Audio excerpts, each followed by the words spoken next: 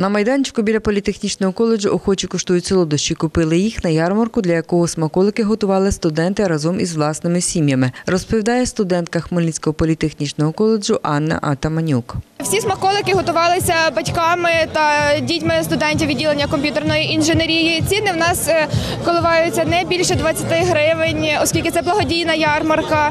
І купують так студенти, викладачі, так і будь-які люди, які можуть підійти, е, які проходять е, повз нашу ярмарку. Те, що це йде на благодійність, це також багато важить.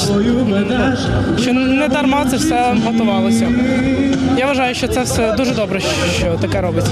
Аби привернути увагу гостей до своїх столиків на ярмарку, кожне відділення готувало театральне костюмоване дійство, у якому задіяні як студенти, так і викладачі. Завідувач відділення комп'ютерної інженерії Антон Сівко на ярмарку виступив у ролі Зевса. Ми рахуємо гроші в два роки, тобто три роки підряд ми збирали найбільшу кількість.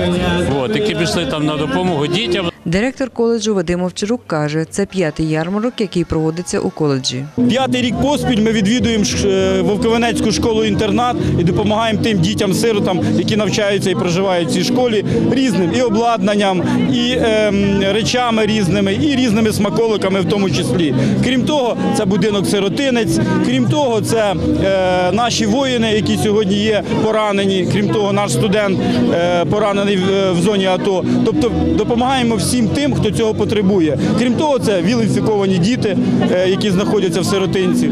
Я взагалі-то задоволена, що діти мають таку щиру душу, що самі виготовляють ці печива, самі їх купують, а потім кошти використовують для благодійних цілей. Тетяна Ворожцова, Олександр Горішевський. Новини на Суспільному. Хмельницький.